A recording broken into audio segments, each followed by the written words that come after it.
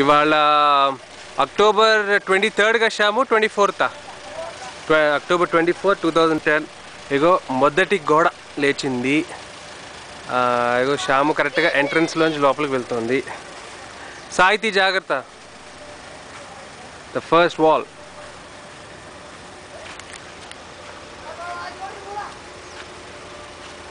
ఇల్లు సైజ్ అంత వెళ్తుంది. ఫోన్